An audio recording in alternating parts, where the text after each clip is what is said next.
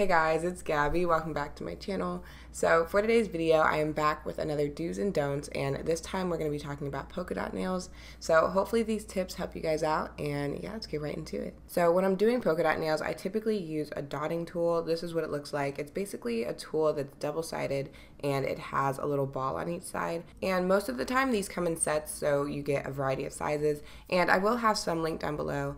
But when I use these, I actually like to take a plastic bag or a piece of plastic and put my nail polish on there and then dip the dotting tool into the nail polish. I just feel like this makes it so much easier, especially when you're making a lot of dots. So when you're using these, all you're going to do is dip it into the nail polish and then dip it onto your nail. And as you can see, it's going to give you a perfect circle on your nail. And the biggest thing I think with dotting tool is just controlling how hard or soft you're pushing. So I'm just showing you guys, you can make the dots smaller by pressing lightly, but then you can also make them bigger by pressing a little bit harder. And one thing I would recommend is actually doing a few test dots, pretty much like I'm doing just to see what size you want on your nail or kind of plan out the look you're going for. And one thing you do want to be careful of is pushing down too hard with a dotting tool because when you do this, it sometimes creates more of a blob shape like I just showed you right there. So just make sure you're practicing before and you should be good. And you also want to make sure that at least the top half of the ball on your dotting tool is covered because if not, you're just going to get these marks instead of a full circle. And if your nail design only needs like one or two dots, then you do have the option of just taking the nail polish brush and painting directly onto the dotting tool. Okay, so I think that covers all of the basics, so let's get into an actual nail example. I'm just to do the classic polka dot nail where you do rows of dots to give you that polka dot print, and I feel like I've said polka dot so many times in this video, but for this you do want to try to keep the dots around the same size.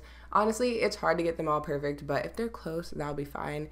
And then after I do a few dots, I typically wipe the dotting tool off on a makeup sponge. I do this because sometimes the nail polish will start to dry onto the dotting tool, and then it'll be kind of bumpy and it won't give you a perfect dot. So I'll do that or I'll use some nail polish remover in the lid and then just put it in there and clean off my dotting tool that way. But either way, you want to make sure you're cleaning it off as you go. And also, I do re-dip my dotting tool into nail polish after each dot that I make. Sometimes I can get away with making two dots first, but it really just depends. I pretty much just check and see how much nail polish is still in the dotting tool and then decide from there. So right here, I'm just making dots in the space of the previous row, and that's how you get that print look. And most of the time, you'll find that you need sort of a half dot because you can't fit a full dot in certain areas. So what I do for that is just make my dot as I usually would and just let the nail polish go onto your skin or your cuticle area. And then I'll just go back and clean up the area using a cleanup brush and nail polish remover. And I would try to stick to lighter colors or colors that don't stain as much when you're doing half dots just because it's going to be easier to clean up. If you are new to using a cleanup brush or you just don't like it, I would try to avoid using colors like black, red, green, colors like that just because it will be harder, even though I am using black right now. And I do plan on doing a do's and don'ts on cleanup and barriers. Not sure when, but it is gonna come. So yeah, after that, I'm just gonna continue making my polka dots.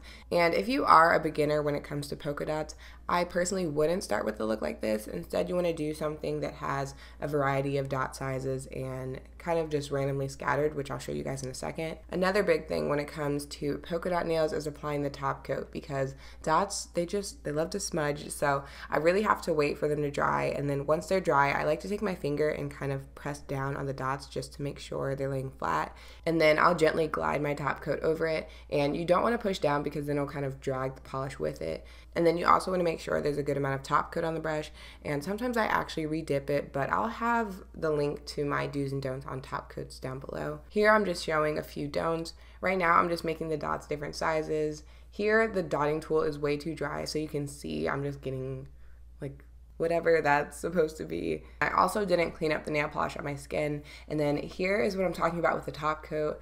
Like, I know this looks dramatic, but I'm telling you guys, I have done this so many times because it is so easy to do. So, if anything else, please make sure your dots are completely dry before you add a top coat. Another great way to get polka dots is by using a bobby pin, and I seriously do this all the time. You just take the bobby pin, spread it open, and then you have a dotting tool. And same thing with these, I like to take the nail polish and put it on a plastic bag, and then take the bobby pin, dip it in, and then create my dots. So these are definitely gonna be smaller dots, but I feel like they're still a pretty good size. And again, I do like to wipe it off on a makeup sponge after making a few dots. So for this design, I'm just putting dots randomly around my nail. And like I said earlier, the lighter you press, the smaller your dots will be, and then the harder you press down, the bigger they will be. So you can actually do a variety of sizes with the bobby pin too. And as you can see, when the dots are smaller like this, I don't re-dip into the nail polish as much just because there's no need to. But yeah, overall, this is a great go-to nail look. It's really quick and easy to do, and you could just switch out the colors and get a completely different look each time. And then after that, again, I'm making sure my dots are laying flat and then adding my top coat.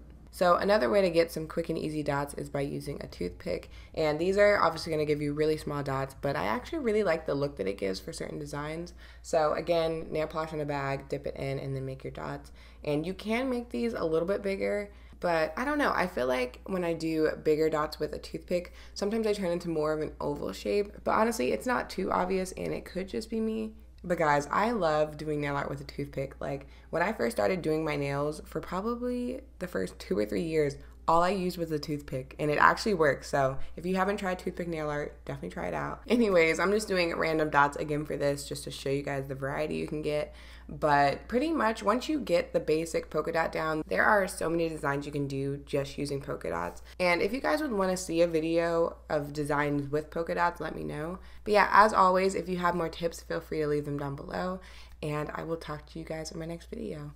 Bye.